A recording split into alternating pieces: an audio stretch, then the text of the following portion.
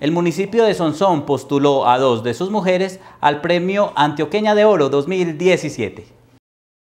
El concurso Antioqueña de Oro es una iniciativa de la Secretaría de las Mujeres del departamento, el cual busca exaltar la labor de la mujer en la sociedad, bajo las categorías empresarial, social, servidora pública, arte y cultura, educación y ciencia, tecnología e innovación. Son año a año ha participado, ha traído muchísimas veces el, galardón, porque acá hay mujeres emprendedoras en todas las categorías. Y este momento, para este año, hay un galardón nuevo que es Mujer Sub-20 y que quiere exaltar a aquellas niñas que no han cumplido los 20 años y que ya son protagonistas en el desarrollo local. Aquí la, situación es que participen, no importa si se traen o no el premio, ya igual eh, son mujeres muy valientes que han salido adelante y que quieren que otras mujeres sigan su ejemplo. Una de las mujeres postuladas a este galardón es la señora Doralba Botero Flores, una líder comunitaria y defensora de los derechos de la mujer rural del municipio. Me parece pues como grato recibir la noticia porque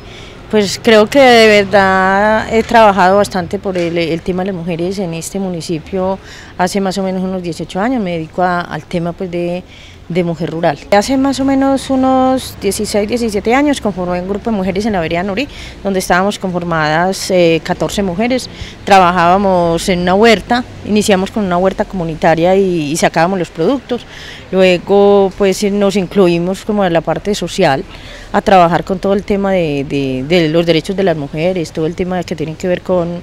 la familia y, y entonces empezamos a participar ya a nivel del municipio y a nivel regional.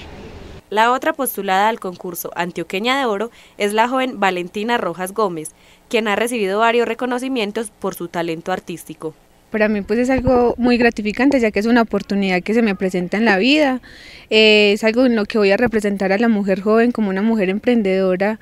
y pues liberando estereotipos de que las mujeres sean valoradas solamente por lo físico y no por sus conocimientos que en realidad poseen. Fui postulada por la Mesa de la Mujer,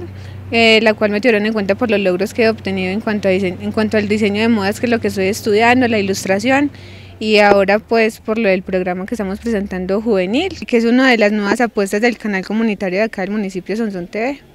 Bueno, y también aprovecho pues para darle una invitación a, todas las mujeres